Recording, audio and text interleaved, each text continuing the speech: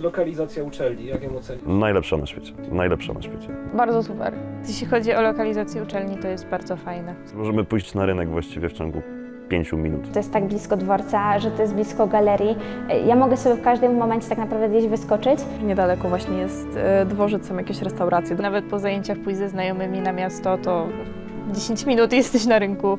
Można naprawdę po uczelni przejść się na centrum, poczuć ten, to, że się studiuje w tym Krakowie, a nie jak słyszę, że jedyna droga na uczelnię to jest tramwaj, uczelnia, tramwaj, mieszkanie.